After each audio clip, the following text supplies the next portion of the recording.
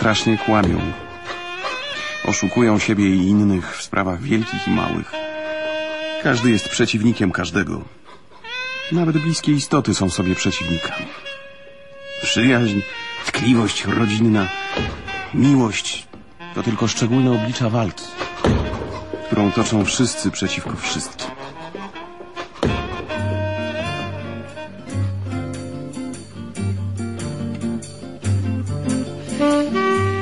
Stanisław Dygat. Disneyland.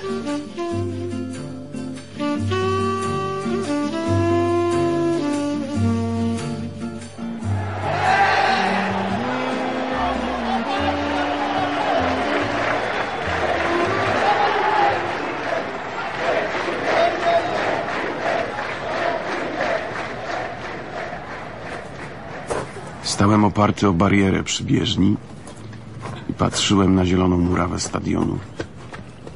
Księżak siedział obok na ławce. Toczyła się między nami milcząca rozgrywka, kto przemówi pierwszy. Dookoła boiska biegał truchtem migdalski. Odwalał swoje okrążenia. Po co ten osioł tak biega? Niedaleko nas skakała w dal Dorota. Po co ty tak wysoko te giry dźwigasz, ćwoku? No po co? Ferma sakramencka. Magistrze! Mam problemy. Nigdy bym cię o nic takiego nie posądził. O, o co by mnie magister nie posądził? A, jakie masz problemy? Ale, ale co ja takiego zrobiłam? No, o co by mnie magister nie posądził, no? Nic nie zrobiłaś, tak sobie powiedziałem. Nieprawda. Magister nigdy nie mówi tak sobie. No, zawsze mówię tak sobie. Powiedz wreszcie, jakie masz problemy. No, chyba źle odmierzam kroki albo co. Nie mogę trafić na belka. Ale co takiego Ty, powiedziałam? chodź, chodź. Zobacz. Chodź, Marek! No ściągnij ten dres. I pobiegaj trochę. Co tak garujesz? No dobra. Mogę z tobą pobiegać.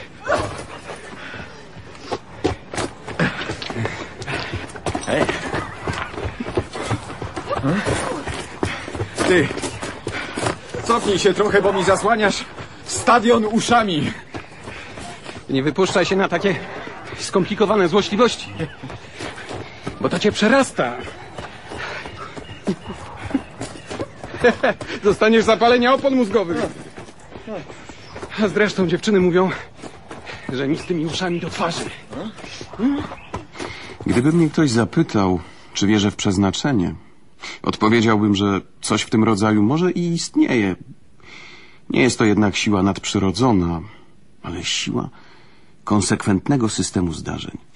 Nigdy nie skończyłbym szkoły, gdyby nie Szymaniak. Mój pierwszy trener. Masz zdolności do rysunków. Ale uważaj, żebyś się nie zmarnował. Jeszcze zostaniesz malarzem czy czymś takim. Zaczniesz malować twarze bez nosu, albo brzuchy z oczami, no i co? I co? Rozpijesz się. I w ogóle przestaniesz być mężczyzną. Jeżeli ma się jakieś zdolności, trzeba je wykorzystać przede wszystkim dla celów praktycznych i pożytecznych. Pójdziesz na architekturę. Poszedłem, chociaż nie interesowałem się architekturą. Ze wszystkim tak było. Ulegałem bezwolnie temu, do czego byłem przymuszany. W Akademii Sztuk Pięknych odbywał się tego wieczoru bal kostiumowy. W holu stała dziewczyna ubrana we wschodni strój. Miała zasłoniętą twarz. Widać było tylko jej oczy. W życiu nie widziałem oczu tak czarnych i ogromnych. Dobry wieczór. A właściwie dzień dobry. Dobranoc. A właściwie do widzenia. No, o, raźno się pan zabiera do rzeczy. Nie, nie, źle mnie pani zrozumiała. Źle pani zrozumiała mój gest. E, Jestem badaczem naukowym. Chciałem przekonać się z bliska, czy to, co tak tutaj świeci, migocze, to są gwiazdy, czy egzotyczne motyle. Ja nie jestem badaczem naukowym, ale wiem, że to, co stoi przede mną, jest osłem. Proszę się odsunąć i nie zasłaniać mi lustra. Czy mogłaby pani zdjąć na chwilę tę zasłonę i pokazać mi swoją twarz? Nie, Ale co pani na tym zależy? no, może jestem brzydka i mam tylko ładne oczy, Na pewno nie. więc może nie jestem brzydka, ale nie będę się panu podobała. A zależy pani na tym, żeby mi się podobać? Och, jest to dla mnie kwestia życia i śmierci. E, jak pani na imię? Jowita. A panu? Nie powiem. Pani ukrywa twarz, ja ukryję imię. Dobrze. Będę cię nazywała Rodrigo. Rodrigo. Ożeń się ze mną. Bardzo chętnie. Rodrigo. Przysięgnij, że nigdy mnie nie porzucisz. Przysięgam ci, Julio. E, chciałem powiedzieć Jowito, Jowito. Julia? A co to za jedna? Ta Julia? No, Julia, Julia, tak. Y, Zapomniałem nazwiska, jakoś tam tak na K. Znaczy to w każdym razie, że jest ktoś w twoim życiu. Zwodzisz mnie. Nie, nie, nie, nie, nie, nie, z Julią to już skończone. O, Odkąd ujrzałem ciebie, wszystkie piękności świata, tyle są dla mnie warte, co prosto do jarki. Nie powinieneś w dzisiejszych czasach lekceważyć dojarek. No więc tyle, co proste krowy. No krów tym No bardziej. więc tyle, co proste skopy. Naprawdę? Zaklinam się na gwiazdy twoich oczu. Strasznie nudno na tym balu, nie? Nie, już teraz nie. A mnie tak. Nie jesteś zabawny, Rodrigo. Bądź zabawny. Powiedz mi, Jowito, Tak? czy zbił cię ktoś kiedyś? No na ogół mnie nie bijają. A Czy ty chcesz mnie zbić? Bardzo. I zrobię to, jeżeli nie powiesz mi, że mnie kochasz. Nie kocham cię, Rodrigo.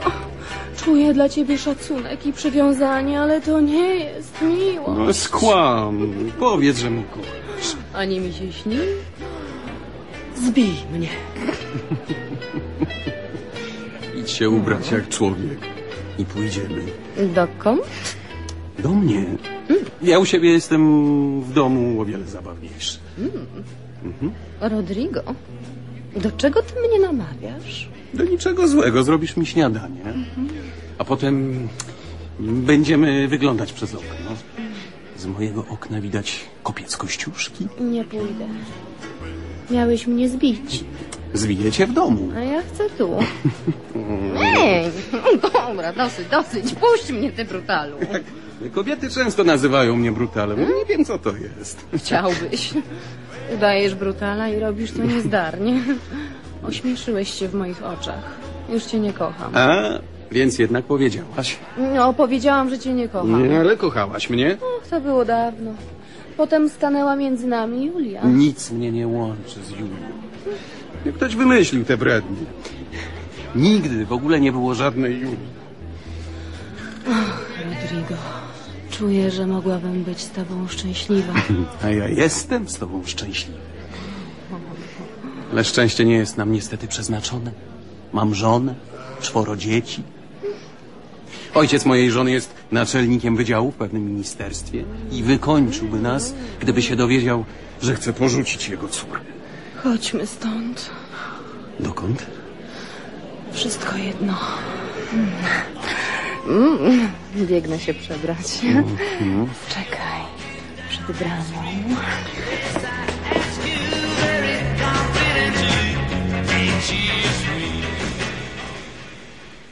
Zniknęła jak najpiękniejszy sen.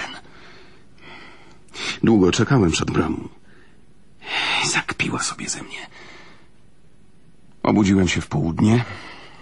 Przez chwilę zastanawiałem się, czy to, co zdarzyło się wczoraj, nie było snem. Złapałem za telefon.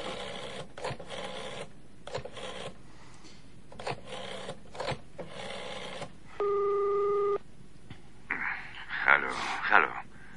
Obudziłem cię, Artur? Coś w tym rodzaju. Nie, nie, nie, nie szkoda. Ja, przepraszam. Co z prezydentem? Prezydent robi w kuchni śniadanie. O, ty to masz szczęście. No to przyjdź do mnie, zjemy razem. Nie, nie, nie, nie o to chodzi. Artur, mam do ciebie ważny interes. Wiesz, ożenię się z nim. Z kim? Z prezydentem. Nie, niemożliwe. Możliwe. Już, już. y, y, Kochanie, rozmawiam z przyjacielem. No, więc co? Jak się wczoraj bawiłeś? Nie, no mam do ciebie prośbę, Artur. No, no, no. no. Czy prezydent chodzi na akademię? Ej, poczekaj chwileczkę. Y, tak, tak. Mówi, że jest na trzecim roku. Artur, błagam. Spytaj się jej, która dziewczyna była wczoraj przebrana za Turczynkę. Turczynkę, mahometankę, coś w tym rodzaju. No, no w takim wschodnim stroju, że, że widać tylko oczy. Aha, co chciałeś zobaczyć więcej, nie zdążyłeś. Artur. czekaj, czekaj. Ona mówi, że przyszła już zalana, a tam się doprawiła. No, I nie pamięta, kto był za co przebrany. Jeżeli chcesz, dowie się jutro. O, bła- błagam cię. No, bądź spokojny. Jutro będziesz wszystko wiedział. Cześć. Cześć. Byłem w Palcie, kiedy zadzwonił telefon.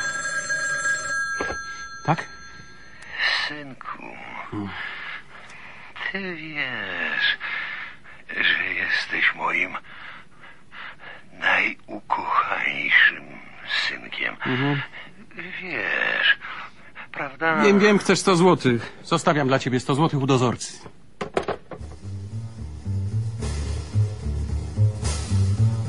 Kompletny rozkład burżuazyjnej rodziny. Marek! O, cześć, cześć. Jest mi bardzo przykro. Prezydent przeprowadził drobiazgowe śledztwo. Żadna dziewczyna nie była przebrana za bajaderę. Ale niemożliwe. Pogódź się z myślą, że zasmarowałeś się na ten czop. Nie przysięgam ci, że to nie był sen. Marek, no zaklinam cię, zapomnij o tej sprawie i wróć do normalnego życia. A, mówiłem ci, że żenię się z prezydentem? No dobra, już jestem spóźniony na próbę. Do widzenia, cześć. Tajemnicza sprawa. Nie mogłem zapomnieć oczu Jowity. Cierpiałem. Nie chciało mi się żyć. W następnym tygodniu nasz klub urządził bal z okazji swojego pięćdziesięciolecia. Nie miałem ochoty iść, ale nie mogłem się wykręcić.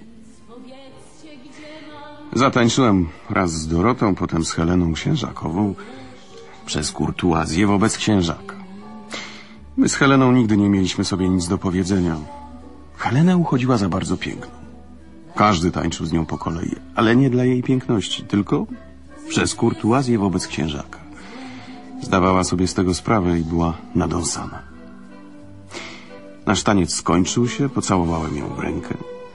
Popatrzyła mi w oczy. Nagle się uśmiechnęła i pociągnęła mnie za włosy. Zacząłem się zastanawiać, jak mam rozumieć jej gest. Nagle uderzyłem się w czoło. Helena jest Jowitą. To jasne. Nie, nie, nie, nie. Przecież ona ma błękitne oczy. Spadł mi ciężar z serca. Człowiek od razu wyobraża sobie Bóg wie co. Swoją drogą pierwszy raz zauważyłem, że jest naprawdę ładna. Rozejrzałem się po sali. Dekoracja była harmonijna i przytulna. Przy bufecie stał Leon Kozak z jakąś dziewczyną. Był koszykarzem, miał metr dziewięćdziesiąt siedem. Na dziewczynę nie zwróciłbym uwagi, gdyby nie to, że Leon poderwał mi raz w Zakopanym czeską łyżwiarkę. Nie, specjalnie mi na niej nie zależało, ale teraz przypomniałem sobie o tym, może z nudów. Leon odszedł na drugą stronę bufetu. Orkiestra zaczęła grać walca. Poprosiłem dziewczynę do tańca.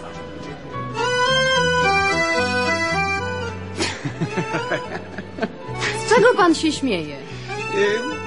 Śmieję się, bo się cieszę. że tańczę z panią. Głupi. O, dlaczego jestem głupi? No, widocznie już się pan taki urodził. Pani jest na mnie o coś zła. No, jestem. To, Że oderwałem panią od tego drągala?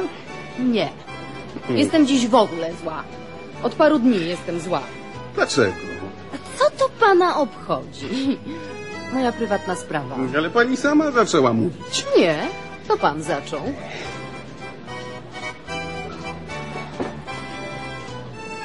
Hmm? Dlaczego pan y, nic nie mówi? Znudziłam się panu. Hmm? Możemy przestać tańczyć, jeżeli się panu nie chce. Nie, nie, jestem szczęśliwy, że z panią tańczę. Milczałem, bo zastanawiałem się ciągle, dlaczego nazwała mnie pani głupią. O. Przepraszam, jeżeli uraziłam. Co pan taki obraźliwy? Nie, nie, nie jestem obraźliwy. Pytam z ciekawości. O co pani chodziło? A czy zawsze musi o coś chodzić? Tak sobie powiedziałam. Kim pan jest? Y, Jestem inżynierem z Nowej Huty. I kibicem sportowym, tak? Skąd sport w ogóle mnie nie interesuje? To co pan tu robi? E, Zajmuję się amatorsko wycinaniem papierów. Takie hobby. Doktor Pluciński, który mnie leczy na wątrobę, jest prezesem tego klubu. Poprosił, żebym zrobił dekorację na ten bal. Mm, a co to hobby? Jak to? Nie czytuje pani przekroju? No pewnie, że czytuję. A, wiem, wiem, wiem. y, To taka y, mania, tak? Coś w tym rodzaju. A pani ma jakieś hobby? Bo ja wiem. Mm, Zbieram fotki gwiazd filmowych. Czy to jest hobby? Typowe. A co pani robi poza tym? Y, Jestem lekkoatletką. Co pani mówi? Tak się cieszę. Pierwszy raz w życiu widzę z bliska prawdziwą sportsmenkę. No, tu aż się roi od nich. Tak? Przyszedłem dopiero przed chwilą. Z obowiązku doktor Plusiński prosił mnie, żebym doglądał, y, czy wszystko w porządku z dekoracjami. Należy pani do klubu? Tak, tak. Skaczę o tyczce. Co pani mówi? Wysoko? No, różnie. Czasem 7 metrów, czasem 8. Nadzwyczajnie. Nie dam nic takiego. Ja, ja bym nawet pięciu nie skoczył. To niech pan kiedy spróbuje. Trzeba tylko dobrze odbić się od ziemi i przebierać w powietrzu nogami. Jak się ma takie nogi jak pani, to pewnie. O, pan tylko ciągle mówiłby głupie komplementy. Akurat dam się nabrać. Nawet nie zdążył się pan jeszcze przyjrzeć moim nogom. Uważaj, Agnieszko. Nie daj się zabajtlować naszemu kazanowie. A więc musisz uwodzić akurat moją siostrzenicę. No nie rób takiej niemądrej miny, Agnieszko. Czy pierwszy raz w życiu tańczysz ze słynnym sportowcem? Mm, Chyba tak. O, o czym pan tak intensywnie myśli? Zastanawiam się, kto tutaj właściwie jest kim. I sam nie wiem. No, to bardzo proste. Pan jest słynnym sportowcem, a ja jestem siostrzenicą doktora Plucińskiego. No, a, ale równie dobrze pan może być inżynierem z Nowej Huty, który nie zna się na sporcie, a ja lekkoatletką. Rzeczywiście. Czy pani nie myśli, że to nas upoważnia do wypicia bruderszaftu? Mm, Tym obrzydliwym słodkim winem? Nie. Naumyślnie z panem zatańczyłam, żeby uniknąć picia wina z tamtym dryblasem. Znajdziemy coś lepszego. Tylko żeby ten przeklęty walc się już skończył. No, więc tańczenie ze mną jest dla pana takie uciążliwe? O, głupi pan jest. Ja też nie lubię walca. Chodźmy gdzieś usiąść albo co.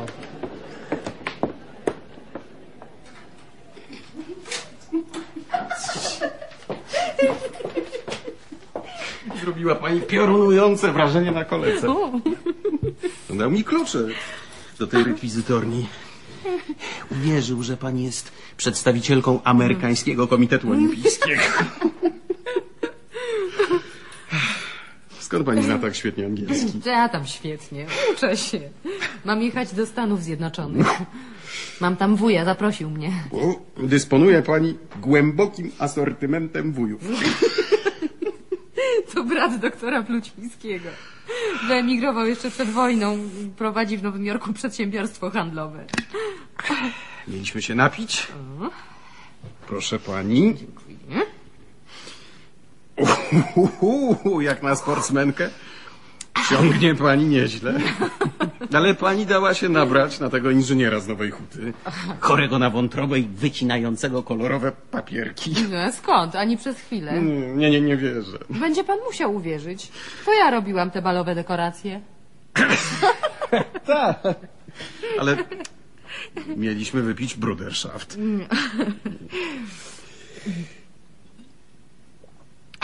Agnieszka? Marek.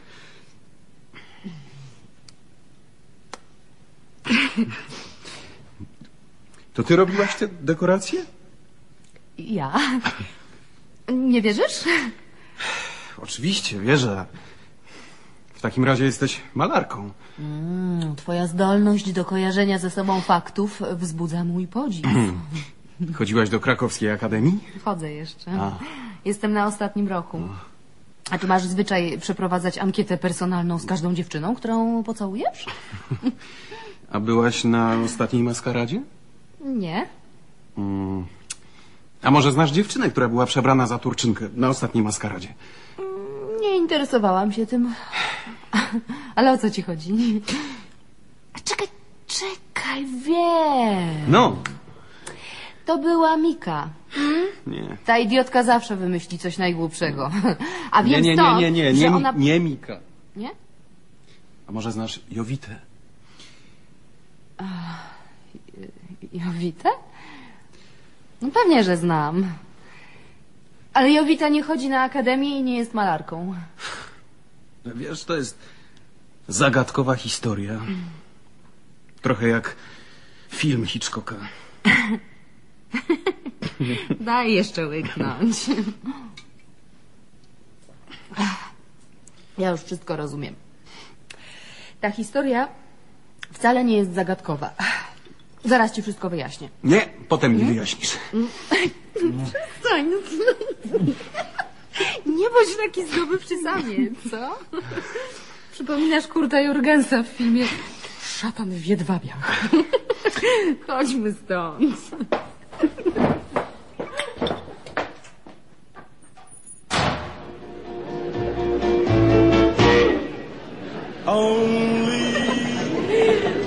Więc Jowita jest twoją bliską przyjaciółką. Kiedy ona mnie naprawdę nie interesuje. A czy ja twierdzę, że cię interesuje? Interesuje cię ta zagadka. A to jest rzeczywiście dość zabawne. Zaraz ci wyjaśnię. Otóż Mika... O, pan Leon! A gdzie mi pan zginął? Marzę o kieliszku wspaniałego trunku, którym mnie pan częstował. Napije się pan ze mną jeszcze? Y, Nie wychodzisz chyba jeszcze, kochanie? Zobaczymy się później?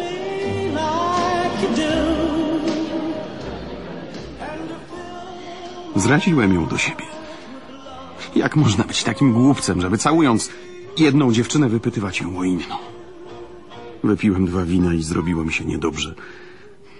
O piątej rano postanowiłem wyjść. Idąc plantami myślałem, że muszę zasadniczo zmienić życie. Rzucić wszystko, co było dotąd. Znaleźć sobie zakres działania, w którym człowiek poświęca się dla innych. I raz na zawsze zapomina o sobie. Zostać mnichem albo wstąpić do partii. W każdym razie wyeliminować ze swojego życia kobiety. Rodrigo! Jak mogłeś tak zostawić swoją dziewczynę? A, to ty jesteś Jowita? Nie. Nie jestem Jowita. Gniewasz się na mnie? Nie. Kochanie, dlaczego miałbym się gniewać? Zobowiązania, jakie zaciągnęłaś wobec mnie, są nieokreślone. I wątpię, czy wygrałbym sprawę, gdybym podał cię do sądu o niedotrzymanie obietnicy małżeństwa. Zresztą Leon naprawdę świetnie tańczy. Gdybym się nie wstydził, sam bym z nim chętnie zatańczył. Nie rozumiem tej histerii. Że zatańczyłam parę razy z kimś innym? Histerii? No kto robi histerię? Ty, a, a kto? Obrażasz się, znikasz dlatego, że zatańczyłam z kimś innym? Musiałam z nim zatańczyć. Przecież najpierw jego zostawiłam dla ciebie.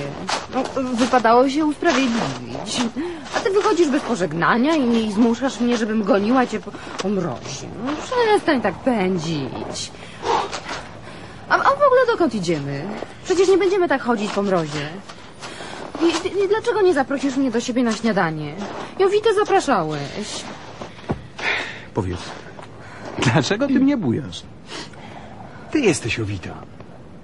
A ty jesteś bałwan. Zupełny bałwan.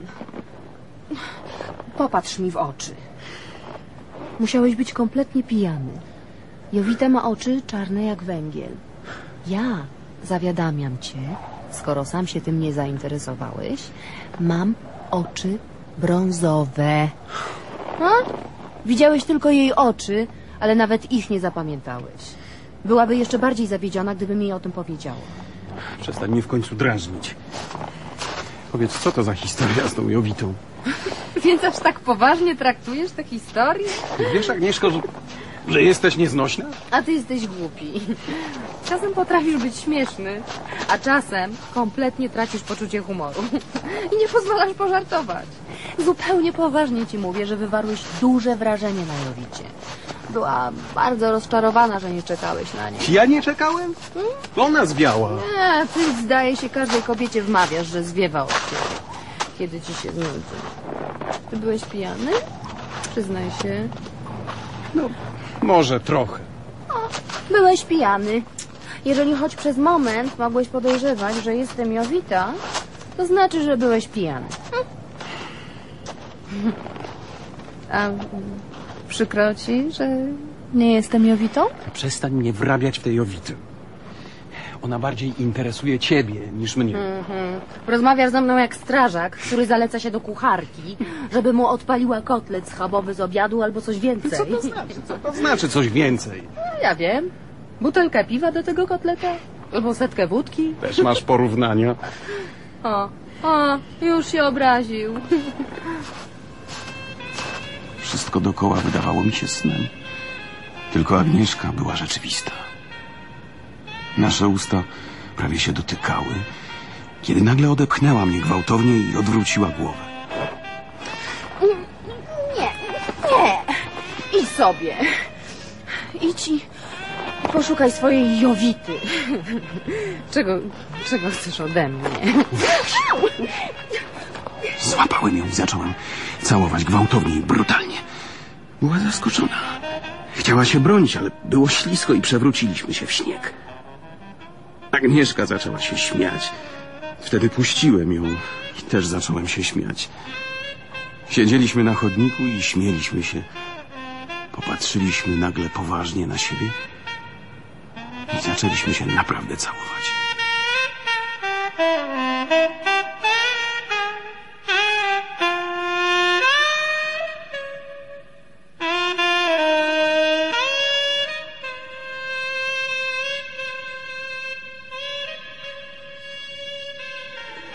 Agnieszko! Co ty tam robisz? Chodź tu do mnie. Robisz śniadanie. Ale pokaż się chociaż na chwilę. Przywitaj się ze mną.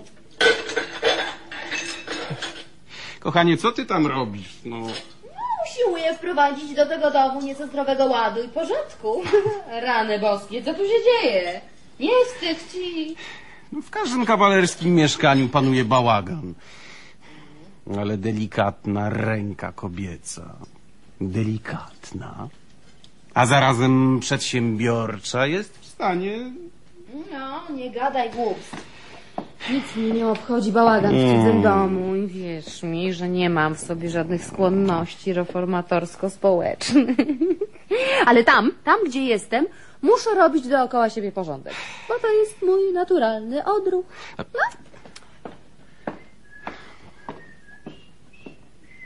Agnieszko, Aha, czy będzie coś w rodzaju śniadania? oczywiście, że będzie. z widokiem na kopiec Kościuszki. No, to dobrze, że będzie śniadanie. Jestem bardzo głodny. No, niech ci się nie zdaje. Niech ci się nie zdaje. Co ma mi się nie zdawać? Nie będzie śniadania? Oj, będzie, już ci powiedziałam. Ale niech ci się nie zdaje, że je dostaniesz do łóżka. Trudno. Mm. Wykąpiesz się, ogolisz, ubierzesz porządnie i dopiero będzie ci wolno siąść do śniadania. Buty też mam włożyć? No co, pewnie. Jak zachowałaby się rano Jowita, gdyby przyszła do mnie? Kochałem Agnieszkę.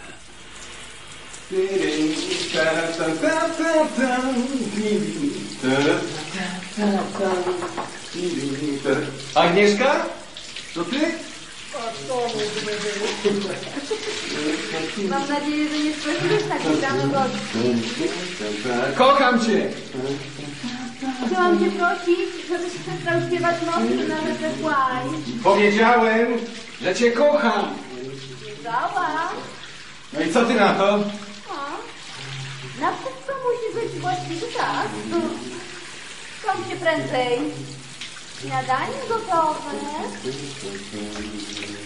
Agnieszka miała trudny i skomplikowany charakter, ale zdecydowany byłem dostosować się do niej i ulegać jej we wszystkim, aby się tylko przypodobać.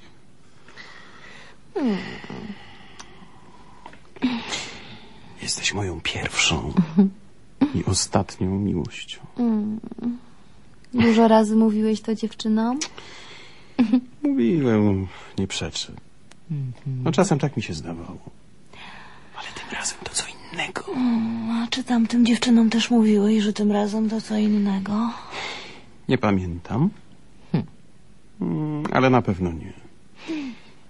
A nawet gdyby. Mm, po kiego diabła smarujesz sobie włosy jakimś świństwem? Mm. Teraz lepią mi się ręce. Brylantyna. Yardleya. No, wszystko jedno. Zabraniam ci używać brylantyny, słyszysz? Tak jest. Będę robił wszystko, co każesz. Zawsze, czy tylko dziś? Yy, zawsze. Do końca życia. Ha, ha, ha. Nie wierzysz? Pewnie, że nie. Każdy z was plecie takie same głupstwa.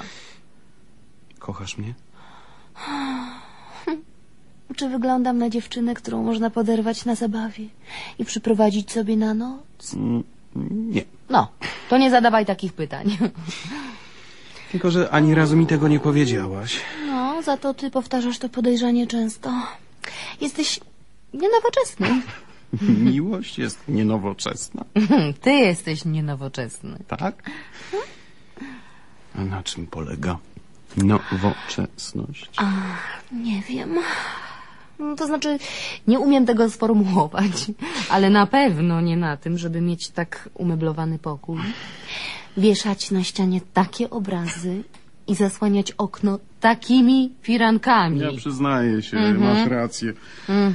Pokój jest urządzony okropnie. Ale to są sprawy zewnętrzne. Sprawy zewnętrzne mają z wewnętrznymi ścisły związek. Kiedy się przy tobie obudziłam dziś rano, mm, było mi dobrze.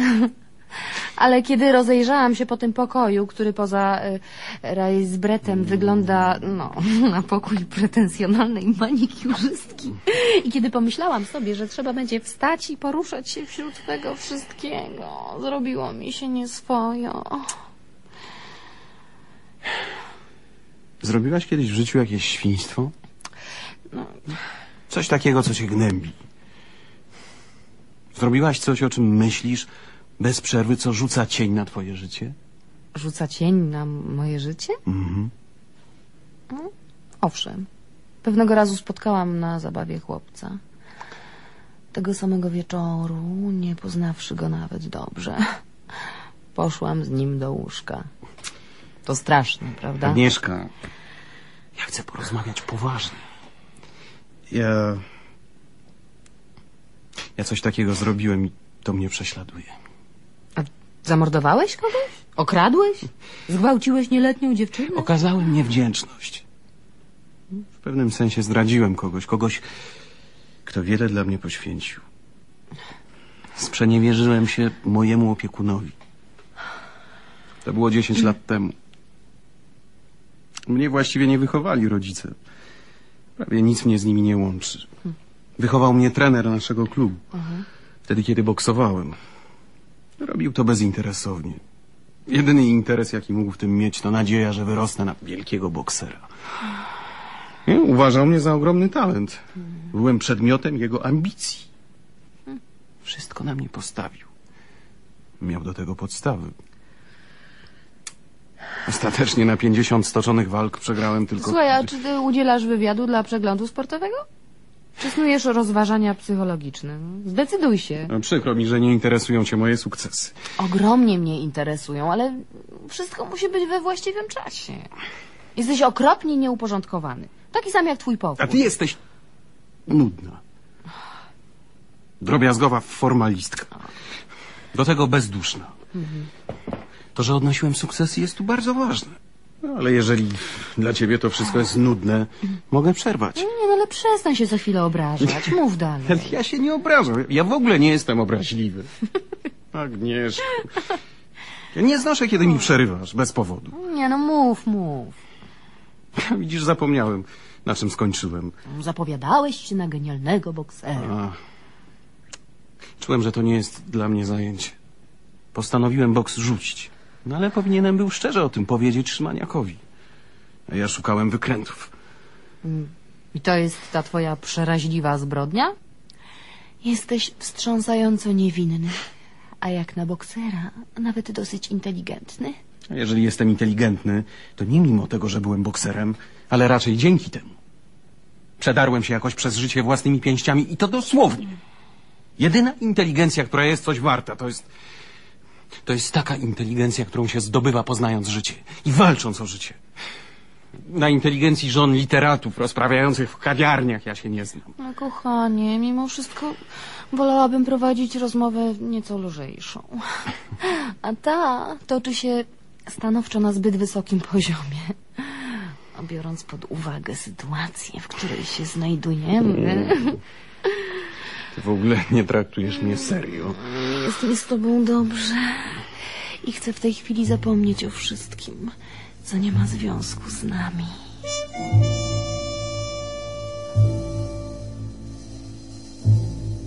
Śniadanie zjedliśmy o zmroku. Przez okno widać było kopiec kościuszki. Potem chwilę staliśmy, milcząc przy oknie. A potem Agnieszka powiedziała, że pójdzie. Pocałowaliśmy się w drzwiach, szybko i przelotnie. Jak ludzie, którzy nie chcą przedłużać pożegnania. Nie chciałaś mnie słuchać, Agnieszko. No to nie. I chyba niepotrzebnie się na ciebie złoszczę. Bo jako malarka, która jestem pewien, maluje twarze bez nosów i brzuchy z oczami. I tak nie mogłabyś zrozumieć nic z tego, o czym chciałem mówić. Jest to dla ciebie rzecz drobna i bez znaczenia. Że się bliską osobę zawiodło, a jeszcze na dodatek oszukało. A jeżeli ciebie zawiodę i oszukam? Czy też będzie to rzecz dla ciebie bez znaczenia? Otóż oświadczam ci, Agnieszko. Nie mogę już znieść tego, że pojawiają się w moim życiu i znikają dziewczyny, które najpierw stanowią dla mnie wszystko, a potem nic. Którym najpierw mówię słowa najświętsze, a potem najwykrętniejsze. Nie mogę znieść tego ustawicznego braku wierności wobec wszystkich i wszystkiego, bo to jest brak wierności wobec samego siebie. Więc jeżeli tylko zechcesz, będziesz ostatnią dziewczyną, której powiem najświętsze słowa. I cokolwiek się stanie, słowa najwykrętniejsze już po nich nie padną. Panie Marku, telefon do pana. Słucham. To ja? A? Więc idziesz na ten koncert, czy nie? Przecież umawialiśmy się. O co ci chodzi? Nie musisz być niegrzeczny. A chodzi mi o to, że raz zrobiłeś kawał i nie przyszedłeś. Więc nie chciałabym, żeby znowu zmarnowały się bilety. Ale nie zrobiłem żadnego kawału. Było nieporozumienie. No sama wiesz najlepiej. Więc nie chciałabym, żeby znowu wynikło nieporozumienie. O której mam po ciebie przyjść? Nie musisz po mnie przychodzić. Mam coś przedtem do załatwienia. Spotkamy się przed Filharmonią kwadrans po siódmej. Boże, jakim byłem przeraźliwym osłem. Czasem wydawało mi się wręcz nieprawdopodobne, że mogę być aż tak głupi. Doszedłem do parku krakowskiego. Było parę minut po wpół do szóstej. Skręciłem w alejkę idącą ku Czarnowiejskiej. Zobaczyłem z daleka naszą ławkę. Była pusta. Ogarnął mnie paniczny lęk, że ona może nie przyjść. Niczego w tej chwili tak nie pragnąłem, jak tego, żeby przyszła. Siadłem na ławce. Za chwilę odetchnąłem z ulgą. Dzień dobry. Dzień dobry. Spóźniłeś się. Całe pięć minut. Przecież to ty się spóźniłaś. Masz najlepszy dowód na to, jak często pozory mylą.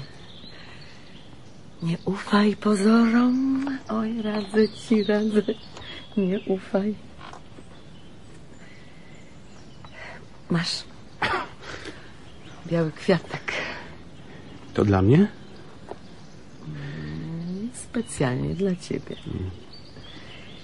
Ja tu byłam przed tobą, ponieważ się spóźniłeś. Poszłam się przejść. Po drodze zerwałam dla ciebie ten kwiatek. Ładny? Najładniejszy kwiatek, jaki kiedykolwiek widziałem. Często dostajesz kwiaty? Nie, przy okazji zawodów. Albo innych takich głupstw. Agnieszka nie daje ci nigdy kwiatów. Agnieszka? Też pomysł. Pokłóciłem się dziś z Edwardem. O co? Ja nie chcę startować w memoriale.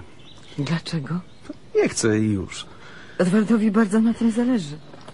Mówił, że przestawił cię na dłuższe dystanse i że jest szansa, abyś wygrał bieg memoriałowy. Ale nie macie w domu ciekawszych tematów do rozmów? Lubimy rozmawiać o tobie. Czy to coś złego? O Jezu, jak już późno. Powinnam być w domu. Kiedy umawialiśmy się wczoraj, zupełnie zapomniałam, że idziemy gdzieś na koncert. Zostawiłam Edwardowi obiad i i napisałam kartkę, że idę do Krawcowej. A muszę się jeszcze przebrać, uczesać, posprzątać, co za życie. A czemu nakłamałaś, że idziesz do Krawcowej? Na przyszły raz powiem, że idę na randkę z tobą. Jesteś dziś jakaś dziwna. Zdaje ci się. No, naprawdę muszę już lecieć. Y, Ty idziesz na koncert? Idę? Bawi cię to? Nie. Mnie też nie.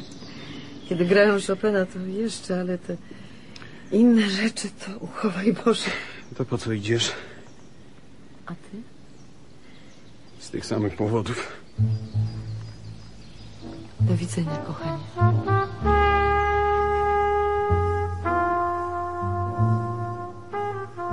Czego ona ode mnie chce? Dlaczego dałem się na to nabrać? Nic się właściwie nie stało. Jeszcze nic się nie stało. Tak długo znałem Helenę Księżakową i w ogóle nie zwracałem na nią uwagi. Los podsuwał mi okazję, żeby się ześwinić. Czemu nie miała być to raczej okazja do pokonania w sobie świntucha? Zaczynała się walka. Jak zwykle przed walką doznawałem szczególnego podniecenia. Nie potrafiłem określić tego, co zaszło między nami. Biorąc formalnie, nic nie zaszło. O ile oczywiście nie liczyć faktu, że na myśl o Helenie robiło mi się na przemiany zimno i gorąco. Spokojnie. Spokojnie, spokojnie. Będę walczył, żeby nie być świnią. Będę walczył, żeby nie zdradzić przyjaciela. I dochować wierności dziewczynie, której to przyrzekłem. Po co? Nie wiem. Od tej nocy, kiedy Agnieszka przyszła do mnie z balu w klubie, minęły dwa dni. A ona nie dała żadnego znaku życia. Byłem wtedy zdruzgotany. Niezdolny do żadnej pracy i wysiłku. Ale w to wszystko wplątana była także Jowita. Jowita, o której nie przestałem myśleć ani na moment. Myślałem o niej, kochając Agnieszkę i Helenę. Tamtego dnia odwaliłem w pracowni robotę za parę dni. Po południu poszedłem na trening. Ćwiczyłem tak samo gorliwie, jak przed południem pracowałem. Wracając z treningu, spotkałem Agnieszkę. O, dzień dobry. Dzień dobry. Bardzo się cieszę, że cię widzę. E, W którą stronę idziesz? Może mnie odprowadzisz kawałek? Chętnie bym cię odprowadził, bo... ale trochę się śpieszę. Szkoda. Też się śpieszę. by- Inaczej ja odprowadziłabym ciebie. No to do widzenia. Bardzo było mi miło cię spotkać. Do widzenia. Nikt nigdy w życiu nie ucieszył się chyba tak bardzo, odkrywając, że zachował się po kretyńsku, jak ja wtedy. Agnieszka na pewno cierpiała. Cierpiała przeze mnie. Tak jak ja cierpiałem przez nią. Po co to? Postanowiłem ją odszukać.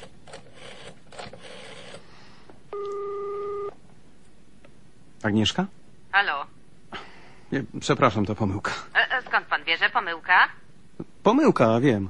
Ale, ale z kim pan chciał mówić? A czy to nie wszystko jedno, skoro to pomyłka? No, p- pan musi być człowiekiem zarozumiałym, apodyktycznym i, i pewnym siebie. Poza tym tyran w domu. Nie chciałabym być pana żoną. Wydaje mi się, że w tej chwili takie niebezpieczeństwo pani nie grozi. O, bardzo mnie pan uspokoił. Cieszę się, że panią uspokoiłem. Do widzenia, przepraszam. Nie ma za co, ale z kim chciał pan mówić? Znaczy, Dlaczego panią to tak interesuje? Wie pan, jest pan dzi- dziwakiem. Dzwonił pan do mnie, a potem dziwi się pan, że interesuje mnie, z kim chce pan mówić. Ale ja wcale nie do pani dzwonię. No, praktycznie biorąc do mnie. A skąd pani jest taka pewna? Przemawiają za tym fakty. To naj, najlepszy dowód, jak pozory mylą. To jest pomyłka. Uparty z pana człowiek. Nie na tyle, żeby zabierać pani niepotrzebnie tyle czasu. Dziękuję za przemiłą pogawędkę i żegnam. Skąd masz mój numer telefonu, głuptasie? Co? Pytam głuptasie, skąd masz mój numer telefonu? Od wuja Plucińskiego? Agnieszka? Mówiłam, że fakty przemawiają za tym, że do mnie dzwonisz. Czy zawsze jesteś taki uparty? Jak to się stało, że cię nie poznałem? A ja też się dziwię. Nie mogłem przypuszczać, że zastanę cię w domu. Dlatego. Oczywiście. To cię całkowicie usprawiedliwia. Jeżeli się do kogoś dzwoni, nie można przypuszczać, że się go zostanie w domu. Miałaś jechać do Warszawy. Miałam i jadę. Oczywiście, o ile się nie spóźnię przez głupie rozmowy telefoniczne. Czy mógłbyś mi wytłumaczyć, dlaczego do mnie dzwonisz? Jeżeli myślisz, że jestem w Warszawie? Absolutnie nie mogę. Czasem się robi rzeczy, których nie można sobie potem wytłumaczyć. Nawet przed sobą samym, czy tak? Gniewasz się, że zadzwoniłem do ciebie? Bardzo się cieszę. Było mi przykro, że nie dzwoniłeś. Ale przecież ty też mogłaś do mnie zadzwonić. Mogłam. I nie zadzwoniłaś. Nie. Marek, ja się spóźnię. O której odchodzi twój pociąg? Za pół godziny, Mogę cię odprowadzić? jeżeli masz ochotę. Pośpieszny do Warszawy, peron szósty, pierwsza klasa dla palących. Muszę cię przeprosić. Za co? Naumyślnie zmieniłam trochę głos, kiedy usłyszałam cię w telefonie. Nie gniewasz się? Nie, ale czemu to zrobiłaś? Bo ja wiem. Tak sobie. Aha, czasem się robi rzeczy, których nie można potem wytłumaczyć nawet przed samym sobą. Tak? Nie, no, po prostu dla kawału. Ucieszyłam się, że dzwonisz. Na miłość boską, Marek, ja się spóźnię. Do widzenia. Dziękuję, że zadzwoniłeś. Odejdź, zanim ruszy pociąg. Nie znoszę smutku, który mnie ogarnia, kiedy pociąg odjeżdża, a ktoś stoi na peronie i kiwa ręką. Ktoś? Ty, No to... Do widzenia, Agnieszko. zachowuj się porządnie. Nie flirtuj z dziewczynami, czekaj grzecznie na mój powrót. A kiedy wrócisz? Pojutrze. Zaraz do ciebie zadzwonię. Do widzenia.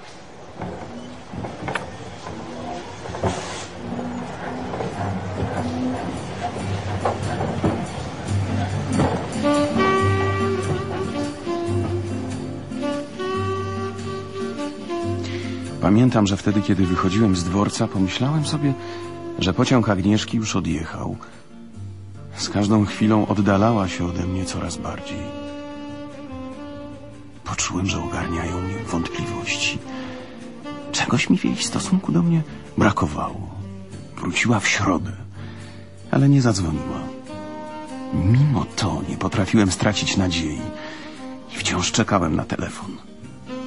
Zadzwonił w piątek wcześnie rano.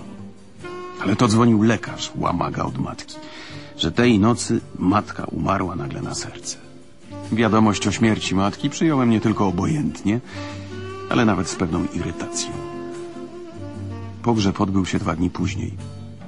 Wszyscy już zaczynali się rozchodzić, nagle stanęła koło mnie Agnieszka. Wzięła mnie za rękę i chwilę nic nie mówiła. Stało się to w momencie, kiedy właśnie zamierzałem się odprężyć. Natychmiast musiałem przybrać znowu żałobną i sierocą postać. Agnieszko, tu w tej chwili przysięgam ci, przysięgam ci, że ni- nigdy cię nie opuszczę i że będziesz ostatnią kobietą w moim życiu. Co masz zamiar dziś robić? Wiesz dobrze, że nie mogę sobie wyobrazić niczego lepszego niż to, żeby być z tobą. To zależy tylko od ciebie. Przyjdę do ciebie wieczorem i zrobię kolację. Przez parę dni Agnieszka mieszkała u mnie i było nam bardzo dobrze. Wtedy właśnie moje mieszkanie zmieniło się nie do poznania. Miałem dużo pieniędzy. Doktor od matki zadzwonił do mnie, że chce się ze mną zobaczyć. Twoja matka zwierzała mi się ze swoich nieszczęść. Ja ją pocieszałem. Potem dopiero to się przerodziło w coś głębszego.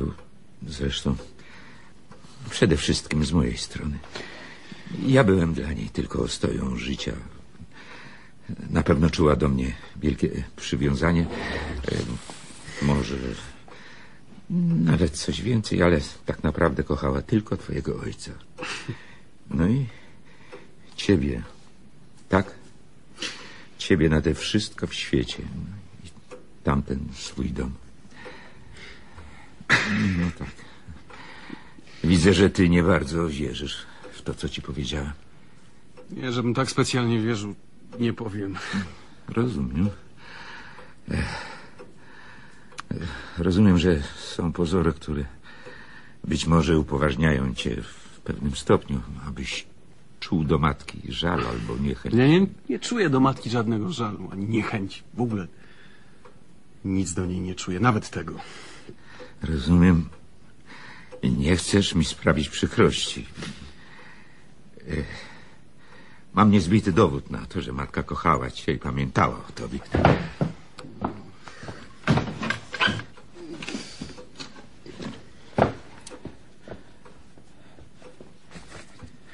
To jest spadek, który ci zostawiła. Wypełniam w tej chwili obowiązek. Wypełniam jej ostatnią wolę. Agnieszka mnie kochała. Czuła do siebie żal i pretensje o to. Ale tak było. Była straszliwie rzeczowa i skrupulatna. Po pogrzebie matki zamieszkała u mnie i zdawało się, że tak już zostanie. Pewnego wieczoru, kiedy jedliśmy kolację, zacząłem z przerażeniem poddawać się wrażeniu, że mi się nudzi. Na drugi dzień ona wyszła wcześnie na akademię, a wieczorem zadzwoniła, że ma jakąś nagłą pracę i będzie musiała z koleżanką przesiedzieć całą noc. Udawałem, że jestem z tego powodu zmartwiony, ale w gruncie rzeczy doznałem ulgi. Myślałem sobie nawet, że taki charakter mógłby się podobać Michałowi Podgórskiemu, mojemu przyjacielowi z pracowni. Wcale nie jest dobrze za dużo wiedzieć. Agnieszka chciała wiedzieć wszystko. Co by jej z tego przyszło? Gdyby się dowiedziała, jak jest naprawdę między nami. Co by jej z tego przyszło, gdyby wiedziała, co jest między Heleną i mną? I dlaczego nie mogłem patrzeć w oczy księżakowi? Całe szczęście, że Agnieszki wtedy nie było. Pojechała do Warszawy załatwiać jakieś dodatkowe formalności w związku z wyjazdem do Ameryki. A ponieważ akurat jechał do Warszawy Michał Podgórski samochodem, poprosiłem go, żeby ją zabrał. Jakoś tak zręcznie wszystko pokręciłem, że choć chciała się wykręcić, to już nie mogła. A bardzo chciała. Jakby wyczuwała, że coś niedobrego się stanie w czasie jej nieobecności. Oczywiście to był wielki zbieg okoliczności, że wyjechała i Agnieszka, i księżak w tym samym czasie. Ale ostatecznie wszystko, co się zdarza, zdarza się na skutek mniej lub bardziej widocznych zbiegów okoliczności. Halo? To ja. No, coś, co się tam dzieje? Halo? Jest, jest tam kto? Jestem, jestem. To czemu się do diabła nie odzywa? Nie no, odzywałem się, tylko w moim telefonie coś nawala. Sznur się gdzieś przerywa. Słuchaj mnie. Trochę ponarozrabiałem w tej Warszawie. Wiesz, wydaje mi się, że uda się przeprowadzić trochę rzeczy, o których rozmawialiśmy. Napisałem memoriał. I chodzi o to, by go doręczyć przed walnym zebraniem. To ja ci zaraz przyślę Helenę. Co? Słyszysz czy nie słyszysz? Napraw sobie do diabła ten telefon. Nie można się z tobą normalnie rozmówić. Co? Nie słyszysz mnie? Nie, ta, ta, tak, tak, mów. No mów. Więc przyślę ci zaraz Helenę z tym memoriałem. I proszę cię bardzo, żebyś go dziś przejrzał. Zrobił swoje uwagi i odesłał mi.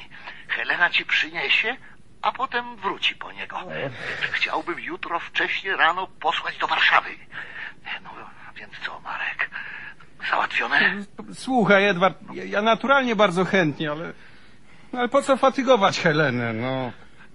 I tak miałem wyjść, coś załatwić w waszą stronę, sam wpadnę. E, Za późno, bo Helena już wyszła. Ona się chętnie tego podjęła. Nawet sama zaproponowała. Marek, przepraszam cię. Ktoś dzwoni do drzwi. E, Cześć, do widzenia. Z góry ci dziękuję.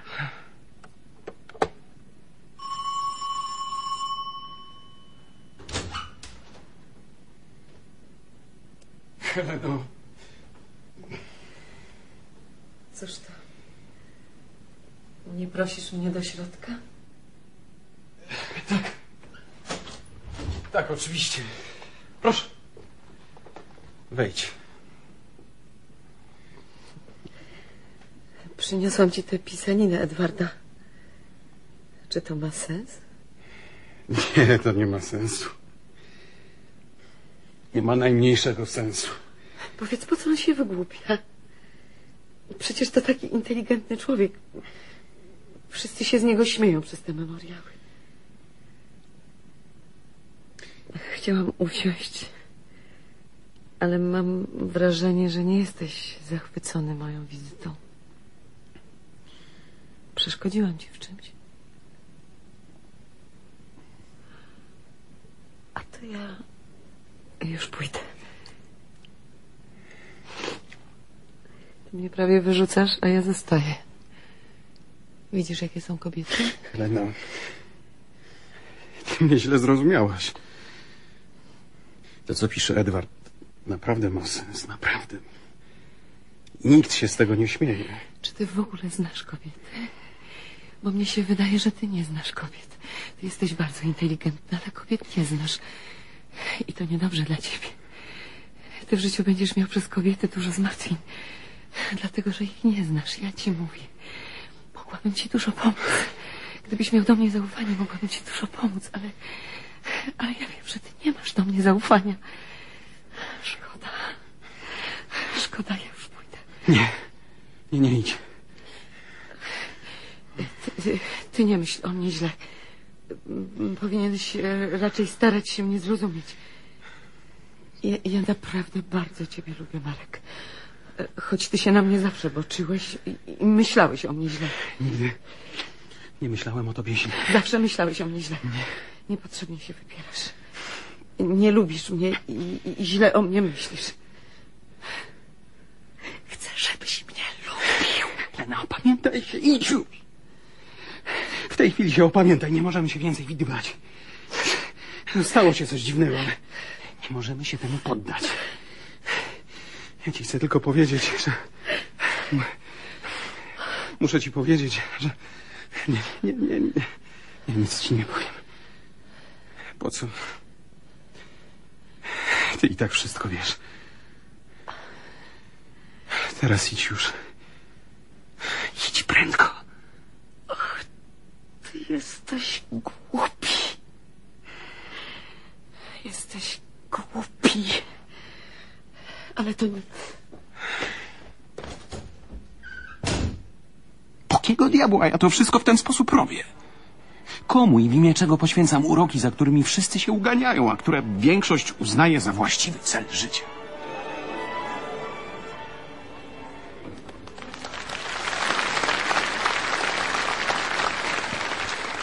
Tego faceta skądś znam. Cicho siedź. Nie kompromituj się przynajmniej. Przynajmniej? Co masz na myśli?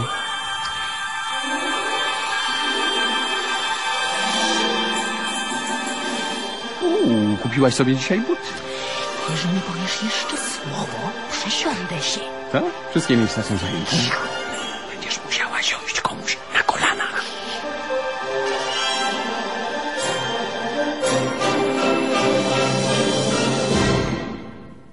To, co grali, nazywało się epizod na maskaradzie.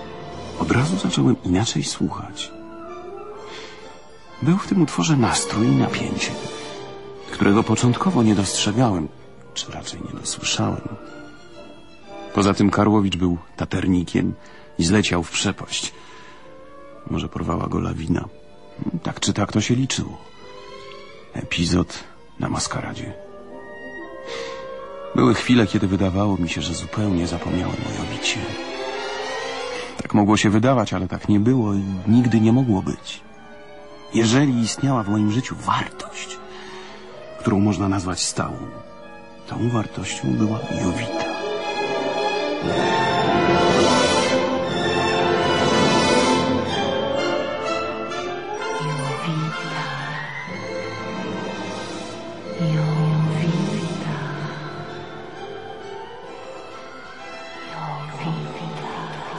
Przestałeś już interesować się Jowitą? Ależ nie, kochanie. Interesuję się nią bardzo. Mam cię o tym przekonać? Hmm. Po pierwsze jesteś trywialny, a po drugie jesteś uparty jak osioł. W sumie jesteś trywialny, uparty, uparty osioł i to mi się nie podoba. Ja naprawdę nie jestem Jowita, a ona naprawdę istnieje. Bardzo dobrze, niech sobie istnieje. Ale nie rozumiem, dlaczego ciągle wracasz do tej historii, o której ja już zupełnie zapomniałem. O co ci chodzi? Właśnie o to, że tak zupełnie zapomniałeś o tej historii. Ona o tobie nie zapomniała. Historia? Jowita. Słuchaj, kochanie.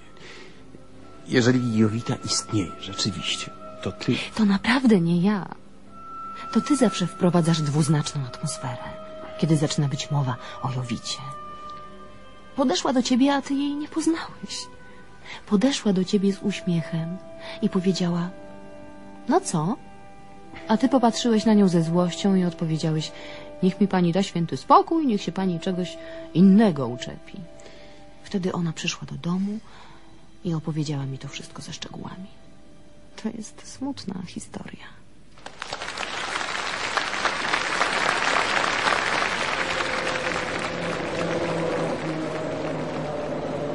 No, to czekam na was jak zwykle. Musimy przecież wymienić wrażenia. Pośpiesz. Ja was bardzo proszę, weźcie ze sobą Helenę. Y, Muszę pędzić na dworzec, a ona zawsze się denerwuje, kiedy wyjeżdżam i zostaje sama. Wcale się nie denerwuje, co ty się wygłupiasz. No, widzicie, już się denerwuje. Ona nie może zostawać sama, bo nie ma do kogo mówić. A jeśli nie ma do kogo mówić, no to Milczy. y, właśnie milczy. Niech Marek i Helena pójdą w takim razie do Artura we dwójkę. Bo ja muszę się męczyć z tą nieszczęsną ciotką. Nigdy dotąd nie widziałem, żebyś robiła takie ceremonie z rodziną. Czy liczysz na spadek po tej ciotce? Tak? Nie wysilaj się na złośliwości. Postaram się spławić ciotkę jak najprędzej. I potem przyjdę do Artura. Myślę, że jakoś dacie sobie radę beze mnie. No, to idźcie. Bo ja w przeciwną stronę. Y, To ja was też y, pożegnam, złapię taksówkę. Y, Cześć!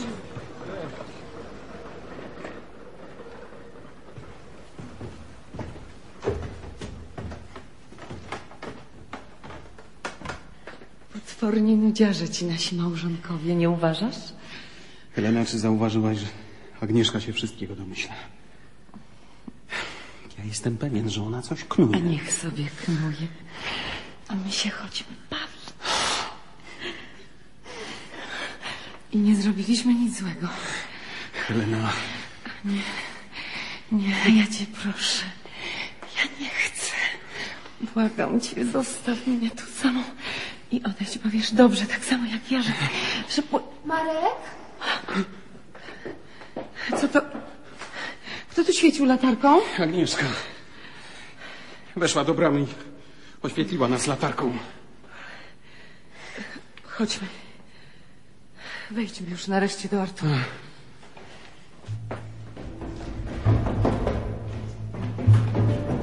Zbiegłem na dół po schodach i wybiegłem na ulicę. Nie zamierzałem gonić Agnieszki, nie dlatego wybiegłem. Uciekłem od Heleny. Poczułem nagle ogromne zmęczenie. Widziałem przed sobą swoje absolutnie zmarnowane życie. Zrujnowane, być może z własnej winy.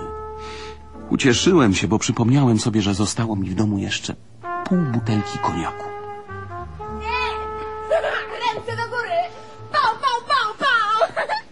Czegoś takiego nie widziałeś, jak żyjesz. Dobrze, dobrze, oczywiście. Ale schowaj tego kolta, bo się zbiegowisko zrobi. Idziesz do domu? Mhm. Mogę cię odprowadzić. No wiesz, wpadnij do mnie. Mm. Ja mam trochę koniaku, zrobimy coś do jedzenia. Paść. Chciałam dziś skończyć książkę. No, będziesz mogła u mnie poczytać. Nie mam ochoty być dzisiaj sam. No to chodź.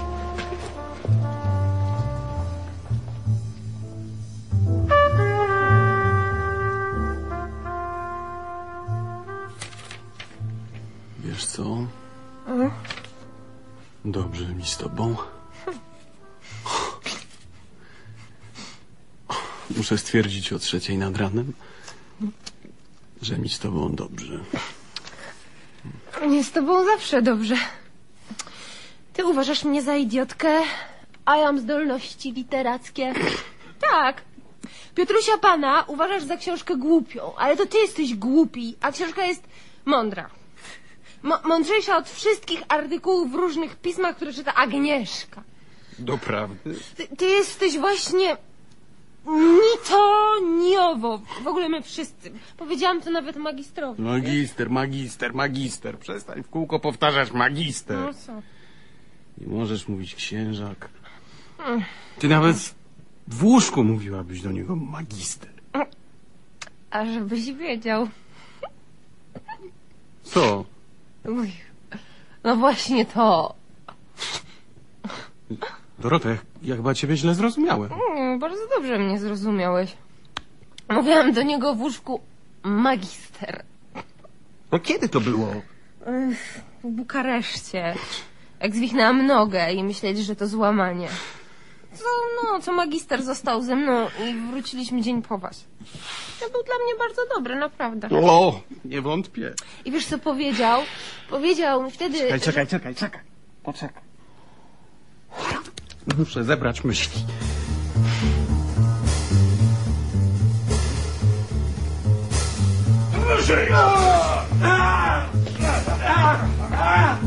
A co was upoważniło do wyręczania milicji i rewidowania tego człowieka? No, On chciał zabić kobietę. A gdzie jest rzekomo poszkodowana? Ale nie rzekomo. Ona ma porządnie rozbitą głowę, jest na pogotowiu. Dowiemy się, jak wszystko się odbyło. I mogę panom zaręczyć, że się nie pomylimy. Radzę jednak nigdy więcej nie wchodzić w kompetencje milicji. Możecie iść do domu. Zostaniecie wezwani, kiedy zajdzie potrzeba. Idziemy. Czy będziecie spokojni, czy mam wam założyć kajdanki? Będę szalał i gryzł. No, no, no, idziemy, idziemy. Co ty wyrabiasz? Nic. Chciałem zabić tę kobietę. Przestań się wygłupiać. Tak czy tak wyciągnę cię z tego. Ja cię o to nie proszę. Ja cię też o nic nie prosiłem wtedy, kiedy biliśmy się w ringu. Nie znokautowałeś mnie, chociaż mogłeś. Bzdury! Dokąd jedziemy? Do domu. Ty mnie zawieziesz na komisariat. Kosmala, Nie martw się o nic. Kto to był tamta kobieta? Lola Fiat 1100. Mhm. Ta, przez którą zabił się Szymaniak? Ta sama. Naprawdę chciałeś ją zabić? Naprawdę. Dlaczego? Myślałem, że to wszystko załatwi. Co wszystko? Zemsta za Szymaniaka? Tak późno? No też, ale nie tylko. W ogóle wszystko. Ja nie umiałem zabić. Nie wiedziałem, jak to się robi. Jeszcze raz wygłupiłem się w swoim życiu. Jestem nitoniową. I ty też jesteś nitoniową. Wszyscy jesteśmy nitoniową. Dobra, dobra. Co do Loli, Fiat 1100, biorę ją na siebie. Uważasz, że kiedyś mogłem cię znokautować? I nie zrobiłem tego, bo na widowni siedziała dziewczyna, w której się kochałeś, tak? No, to wcale nie było tak. Nie znokautowałem cię tylko dlatego, żeby się jej przypodobać. Żeby jej pokazać, na co mnie stać, jak jestem wielkoduszny. A potem na to konto przespałem się z nią. Człowieku, ja chciałem być w życiu szlachetny i sprawiedliwy. Chciałem dotrzymywać słowa. Nikogo nie zdradzać, ani nikogo nie oszukiwać. Nigdy mi to jakoś nie wychodziło.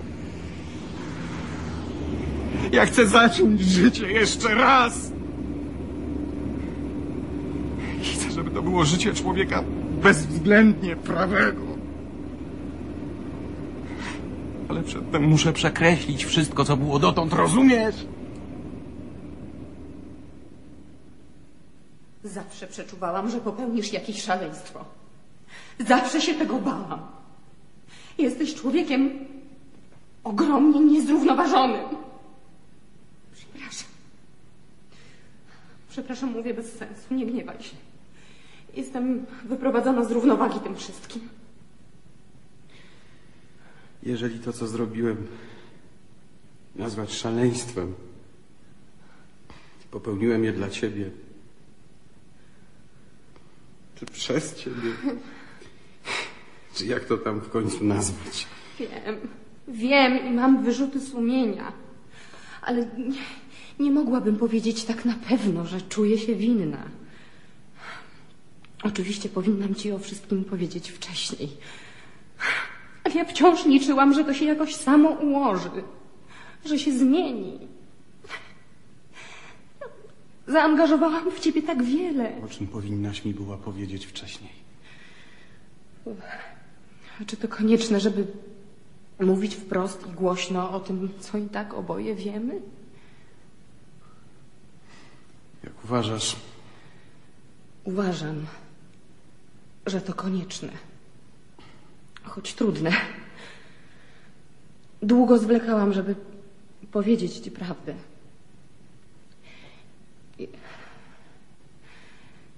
Nie kocham cię, Marku.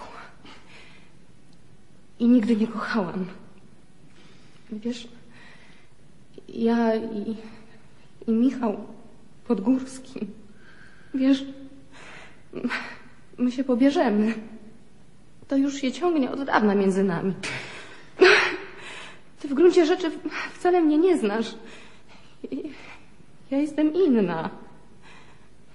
Chciałam z ciebie zrobić człowieka. Byłam szczęśliwa, kiedy widziałam, że, że mam na ciebie wpływ i że się zmieniasz. Ale potem przyszedł ten fatalny moment, kiedy zrozumiałam, że to był błąd. I niczego w życiu nie da się zrobić siłą.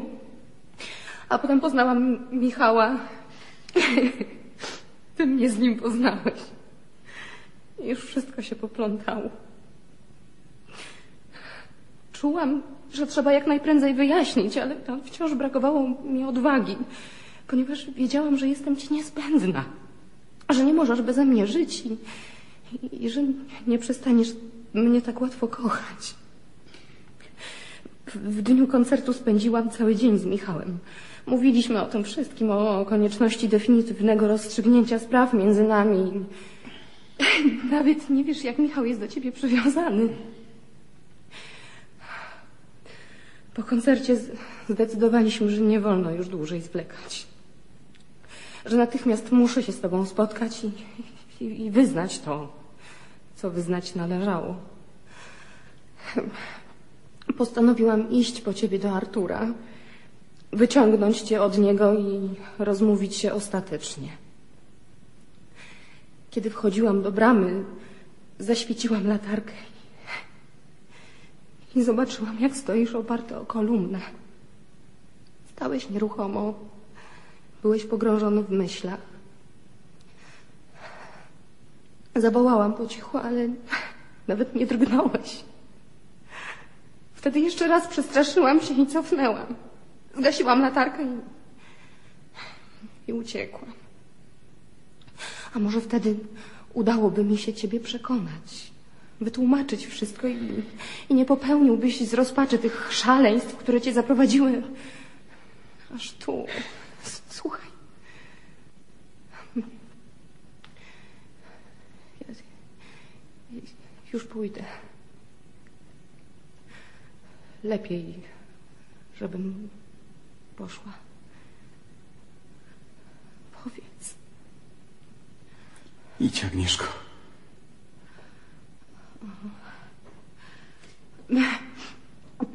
To oczywiście sprawa w tej chwili bez znaczenia, ale w końcu od tego wszystko się zaczęło. Więc chyba powinnam ci powiedzieć. Ja byłam Jowitą.